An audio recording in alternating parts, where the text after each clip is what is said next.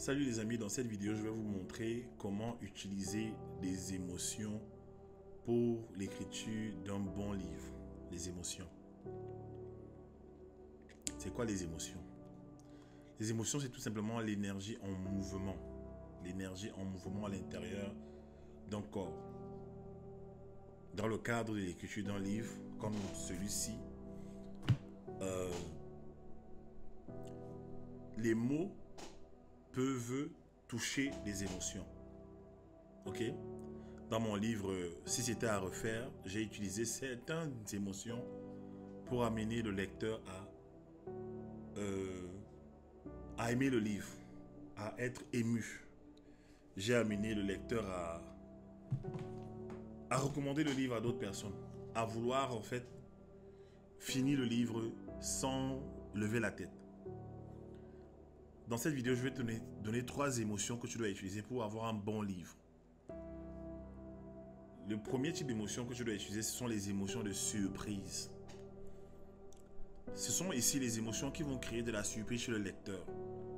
Comme par exemple dans mon livre, si c'était à refaire, euh, il y a un chapitre en fait où je raconte une scène où ma femme, qui était à l'époque euh, encore une connaissance, on était déjà amis, on allait, on allait un peu aller sérieusement dans la relation.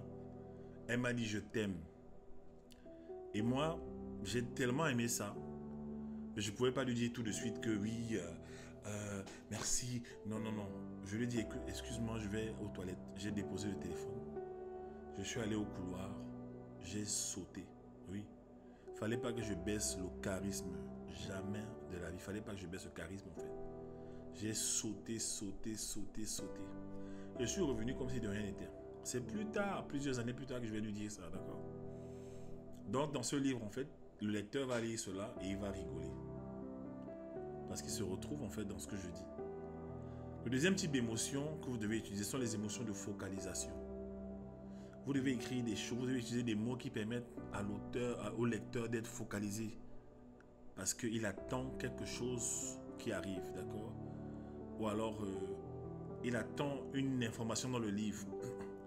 D'accord Dans mon livre Cité à refaire encore, euh, je raconte la rencontre de ma femme à travers mon récit.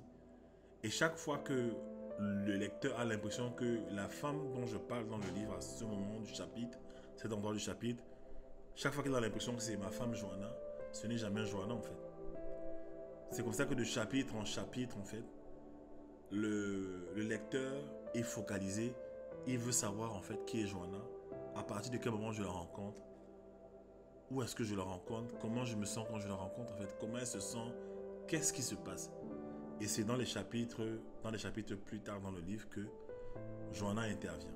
D'accord? Donc je focalise l'attention du lecteur afin qu'il me suive pas à pas pour avoir la récompense qui est celle de la rencontre avec Joanna.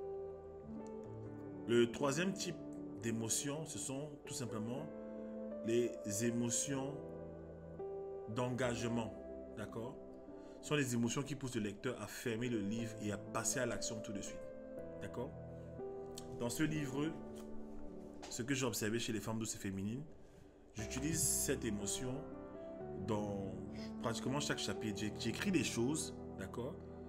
Euh, Qui poussent le lecteur à à, poser le livre.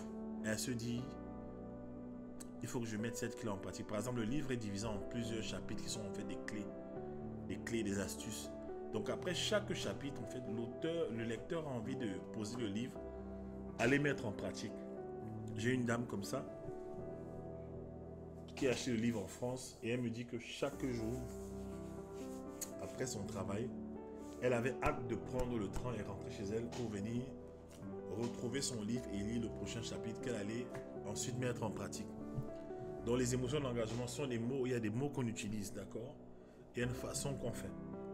Voilà donc les choses qui font que quand les gens vont lire votre livre, bah, ils vont vouloir euh, l'acheter, ils vont vouloir le recommander, ils vont vouloir euh, en parler autour d'eux, ils vont vouloir euh, le relire, revenir dessus, d'accord? Et ça fait que le livre est beaucoup vendu et ça devient un best-seller, ok? Donc voilà, c'était ça ce que je voulais vous dire aujourd'hui. Si vous avez besoin d'écrire un livre, d'accord, nous sommes une maison d'édition, vous avez un projet d'écriture, un projet de publication de livres. Nous sommes là, nous vous formons déjà, parce qu'on s'est rendu compte que beaucoup de gens écrivent des livres parce qu'ils ont le talent d'écriture, ils savent bien écrire, mais ils ne savent pas écrire selon les standards du marché, selon les critères du marché. D'accord? Si je veux pas d'écrire un livre, il faut écrire, il faut écrire un livre avec des stratégies, des storytelling, des choses qui font que les gens recommandent le livre. J'ai trois livres qui sont best-sellers. Ce n'est pas au hasard parce que j'ai écrit le livre d'une certaine façon. Ok? Donc voilà, n'hésitez pas à nous contacter si vous avez un projet d'écriture. Nous sommes là pour vous aider. Destiny Social Publishing. Ciao.